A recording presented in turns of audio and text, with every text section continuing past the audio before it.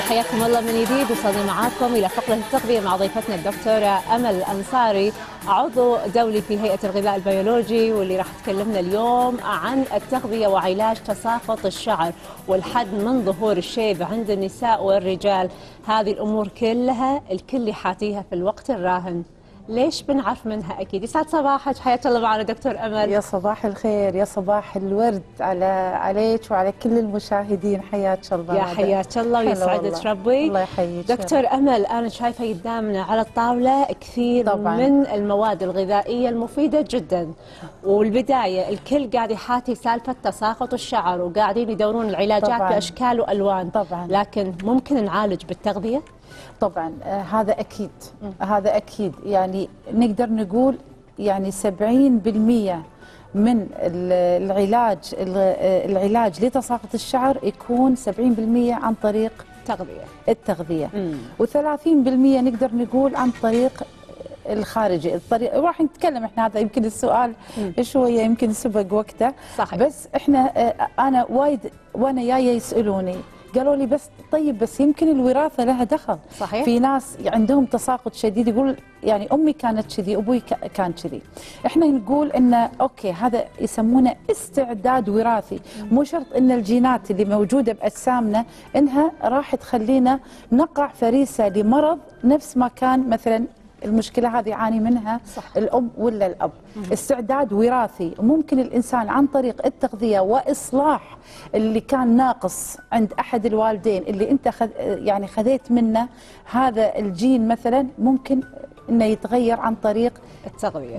دخول عناصر غذائية هامة جدا آه، لجسم الإنسان. حلو. طبعا تعددت الأسباب. والتساقط واحد والتساقط و- مثل قاعدة هو أيوة. والتساقط واحد طبعا هناك آه، ممكن الإنسان يتعرض حق تغيرات هرمونية الحمل الولادة.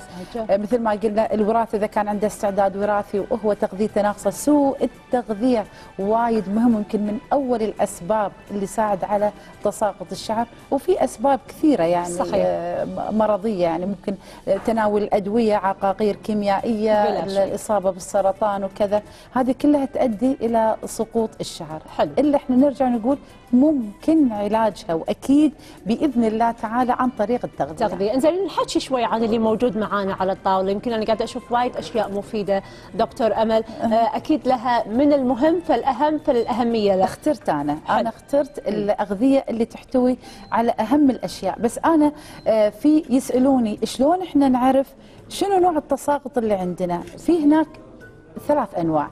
إذا شفتي إذا أنت كنتي مثلا في البيت وشفتي مثلا شعرة سقطت من شعرك شوفيها شوفي فيها جذر فيها بصيلة يعني تحسين فيها بجذرها. إذا كانت موجود الجذر إذا أنت قاعد تسوين رجيم قاسي أو سوء تغذية حاد أو إن نقص بروتينات وفيتامينات مهمة جدا لبصيلة الشعر. إذا شفتي الشعرة اللي طايحة منك ما فيها جذر عرفي إن هذا صايبك بعد عند تناول مضادات حيوية عقاقير أي أنواع يعني ممكن من الواحد يكتشف النوعية من. نوعية اي أو انك قاعد تاخذين أنواع من الأدوية للضغط للسكر لحبوب منع الحمل لأي من الحب الشباب صحيح. أي نوع من أنواع ال- اما إذا شفتي إن في فروة الشعر خفيفة من فوق يعني فروة الشعر باينة من فوق. وهذا معناته إن الإنسان هني يعني هذا طبعا غير جيد. وواضح إنه قاعد يستخدم لشعره أشياء ممكن تأثر عليه مثل الصبغات الكيراتين اللي هو. طبعا يكون آه، في مواد طبعا لازم الإنسان يختار حتى لو بيسوي الكيراتين إنه شيء ما يكون فيه الفورما الدهايد. هذه مادة مسرطنة وتأثر على الشعر بشكل أكيد. يا ساتر. فهذه الأنواع ممكن أنت تعرفين سبب التساقط عندك. حلو. إي منها أحدد أنا شنو آه، سبب تساقط الشعر طبعا. عندي. أسباب ثانية وايد مهمة قبل لا أدخل بالتغذية بشكل سريع. وأنا بعد لما حطينا إن إحنا راح نتكلم عن التغذية آه، بالنسبة لتساقط الشعر سالوني عن الحجاب. قالوا لي سمعنا كثير إن الحجاب يسبب تساقط الشعر. الحجاب يحمي الشعر من الحرارة من الرطوبة من كذا ولكن هناك ممكن يسبب تساقط الشعر بحالة واحدة.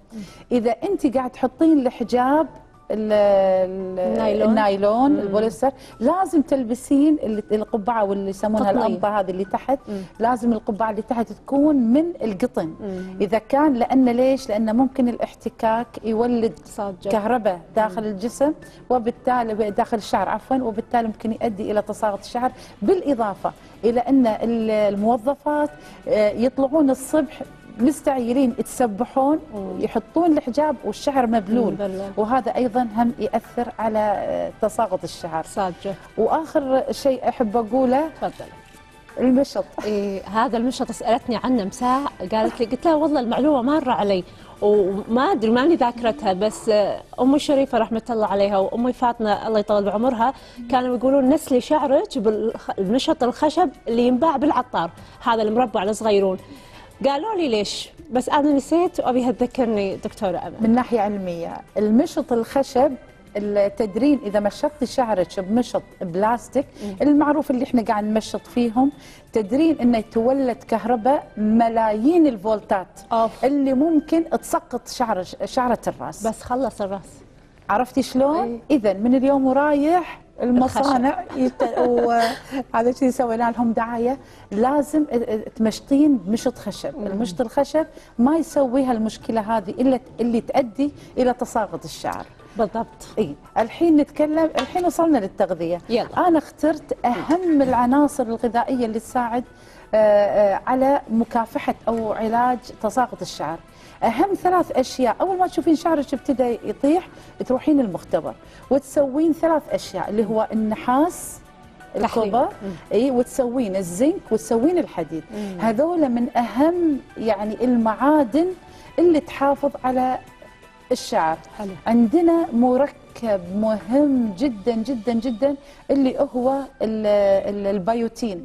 لاحظي الحين كل حبوب تساقط الشعر لازم يحطوا لك البيوتين. صادجه عرفتي شلون؟ فهذه مادة البيوتين يمكن تعتبر من أعظم المركبات وموجودة في الخميرة النباتية موجودة. وتلاقيني يمكن دائما أنا أهتم في ال- التلبينة اللي ياكلها الرسول صلى الله عليه وسلم. تحتوي على كل العناصر اللي أنا تكلمت عنها.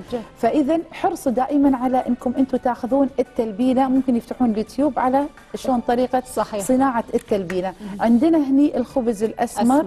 أيضا يحتوي على البيوتين الخميرة النباتية بشكل كبير تحتوي على البيوتين آه ال- البيض صفار البيض يحتوي على البيوتين بس هني عندنا مشكلة إن في ناس ما يحبون يطبخون البيضة آه بشكل كامل.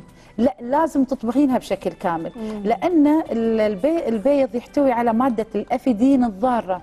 لما توصل إلى الأمعاء سبحان الله تمنع امتصاص مادة البيوتين داخل الجسم وبالتالي تعيق آه، يعني, يعني تكون. مستوية حيل لازم عدل تكون مستوية عدل أيضا عندنا اللي يسوون رجيم يأخذون السكرين.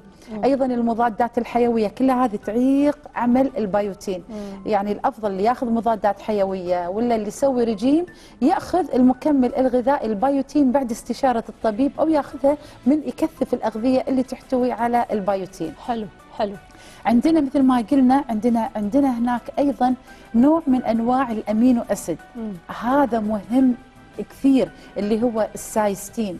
صحيح. السايستين اسمه السايستين اللي موجود في ال- الفاصوليا حمرا. الحمراء عندنا هني الفاصوليا الحمراء عندنا ال- ال- الفاصوليا الخضراء عندنا البازاليا عندنا المشروم عندنا البيض موجود أيضا في الدجاج هذا جدا جدا جدا مهم, مهم. هذا اللي يعطيك آه، آه، موجود في المحار ال- ال- المأكولات البحرية بحرية. المحار ال- آه، السمك ال- التونة الأشياء هاي الربيان صحيح. لو تلاحظين شعر الصينيين إيه. التايلنديين تلاقين الشعره مو بس ناعمة تلاقين الشعره ثقيلة إيه، سميكة وخيوط ما. شاء الله. عرفتي شلون؟ إيه. كأنها بلاستيك تبارك الرحمن. ما أبي احسد ما شاء. الله. ما شاء الله لا قوة إلا بالله فعرفتي فمثل سبحان الله ثقيلة هذا من مادة السايستين هو اللي يعطي الثخانة والمرونة حق بصيلة الشعر, الشعر،. ومثل ما قلنا تلقينها بالأغذية البروتينية وتعالج مشكلة تساقط الشعر بالإضافة إلى إنها الإنسان اللي يأخذ الأغذية اللي فيها معادن من التلوثات من الاستنشاق من النظام الغذائي اللي ياكله إنه يتعامل السايستين يتعامل مع هالمواد الضارة هذه أو اللي تدخل الجسم يتعامل معاها واللي تسبب السرطان أيضا يتعامل معاها ويوقف سبحان الله انتشارها في الجسم. حلو. عندنا هني الرشاد وايد أنصح فيه الرشاد مهم جدا جدا جدا لتساقط الشعر. ممكن تحطينه مع الحليب مع الكركم. بهذا الشكل. صح. إي. عندنا العصاير هذه يعني عندنا العصير هذا الأخضر اللي هو عصير الحبوب المستنبتة. مم. في جميع الأشياء اللي أنا قاعدة أتكلم عنها بالإضافة لأنه مو بس يحسن الشعر ويحسن البشرة بعد عرفتي؟ ويحسن يعني هو كله مرتبط ببعضه فيعطيك النضاره واحدة. وايد مهم. النحاس اللي قاعد نتكلم عنه. وايد ناس تروح المختبر آه، تسوي تحاليل حق تساقط الشعر ينسون ما أدري ليش ماكو أحد فكر إنه هو يسوي الكبر اللي هو النحاس. النحاس هو مهم جدا والحديد مهم جدا. النحاس مهم لتكوين كريات الدم الحمراء. مهم لتكوين ال- الكولاجين للهيموغلوبين أيضا يعمل بتناغم جيد يعني تعا يعني وايد مهم. انك تاخذين وياه فيتامين سي طبعا من ال- الأغذية هذه فيها فيتامين سي الحبوب المستنبتة عندنا عصير الجزر فيتامين سي والزنك. مهم جدا إنهم يكونون هم الثلاثة مع بعض مهمة لتلون الجلد والشعر. ومهم جدا للأظافر وللجلد وللشعر. النحاس جدا جدا جدا مهم. أرجوكم اللي يسوي تحليل لتساقط الشعر ما يكفي الزنك ولا الحديد. حطي معاهم ال copper اللي هو النحاس ما يسوونه ما أدري ليش آه طبعا عندنا هني إذا في أحد يعني يبي يعرف بالنسبة للشيب المبكر اي هذا. الشيب يعني بصراحة صاير أزمة وصاير في الصغار قبل الكبار نعم. هذه الصبغات قاعد تختفي شوي شوي وقاعد. نشوف الشعر أبيض مع إنه صغار في السن صحيح اي والحين يمكن ظهرت حبوب كثيرة بأشكال والوان انها تحد صحيح. من انه إنه يطلع الشيب أو تروح هذه الصبغة فبناحية صحية أكثر وتغذويه شو ممكن ناخذ؟ مثل ما قلت لك النحاس لأنه مهم للتلون آه، يعني الشعر والجلد. صحيح. عندنا مادة حلوة ومو معروفة مو ما يمكن ما حد يسمع فيها بس لازم يحصل هناك توعية اللي هو بارا أمينو بنزويك حفظوا هذا الاسم بارا أمينو بنزويك والأينيزيتول الموجودين في عسل قصب السكر. أنا أقول حفظوا قصب السكر العسل. حفظوه حفظوه لأنه هو مهم حتى للصلعان. مم، حتى الله. للإنسان الأصلح مهم حقه عسل قصب السكر يكثف الشعر ويعطي رونق. يعني شيء مو طبيعي للون الشعره. سبحان الله حيويه مو طبيعيه. إيش كثر يعني لازم ياخذ منه؟ ملعقه كبيره مرتين باليوم. حلو. اللي معاهم السكر ممكن ياخذون مره باليوم ملعقه متوسطه مع ماي لازم يقلبونها مع ماي ويشربونها يوميا بشكل يومي. هذا para-aminobenzoic وال inositol مهم للصلعان حتى. واللي آه، شعرهم ساقط وطايح. عندنا. مادة البيوتين اللي قلنا عنها. واللي موجودة بالخميرة أربع أغذية مقاومة للشيب المبكر ولحدوث الشيب يعني في فترة يعني حتى لو وصل الإنسان ال 40 45 اللي هو الروب.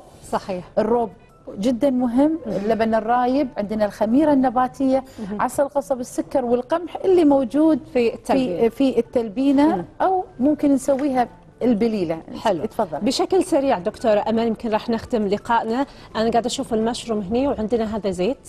إي الزيت هذا إحنا إحنا عندنا هني عندنا البابونج. هذا لمعالجة الشيب وتساقط الشعر. الشيب وتساقط الشعر. عندنا وايد مهم إن إحنا ينوكل ولا بشكل خارجي؟ نسوي زي إحنا قلنا من الأول وفهموني. الله الرسول صلى الله عليه وسلم شنو قال؟ قال كلوا الزيت ودهنوا به. تلاقين وايد حريم يقول لا لا لا لا ما أبي أستخدم زيت على شعري صح. لأن لما أحط زيت على شعري يطيح. است... استخدم الزيت مو من العطار استخدم الزيت الجيد اللي متأكدة إنه هو يعالج مشكلة الشعر. كلوا الزيت ودهنوا به. اذا الزيت هذا مخلوط من زيت البابونج حلو. ومخلوط من الروزماري وهذا فظيع بالنسبة لإعطاء الشعر اللون الأسود والبردقوش اللي هو المردقوش. وعندنا بعد ما تخلصون تسوون الزيت رجاء حطوا فيه من اثنين أو ثلاثة من كبسول آه، فيتامين إي. قضيها وحطيها عصري. اثنين من كبسول فيتامين إي عشان ما يتزنخ صحيح. الزيت ويعطي عمر أطول ويساعد أيضا على تغذية فروة الشعر. يعني هذه ال- ال- الوصفات الجميلة والسريعة مع الدكتور أمل أنصاري. ما عليكم إلا تزورون إنستغرامها وراح تحط لكم هذه الوصفات بشكلها الصحيح وشلون ممكن تسوونها في البيت عندكم وشلون ممكن تستخدمونها. وأنا واثقة أن بعد الله وكلامها المفيد راح تحصلون على نتائج جدا بإذن الله جميلة. تعالى. شكرا لك دكتور أمل أنصاري. شكرا غادة وشكرا للمشاهدين وأشكركم على حسن الاستماع وأشكركم جدا على التواصل الكبير الكبير اللي قاعد ألقاه منكم في الكويت وبرا الكويت. الله قوات يعطيكم الله. العافية. قوات الله فاصل صغيرون ورادين لا تبعدون.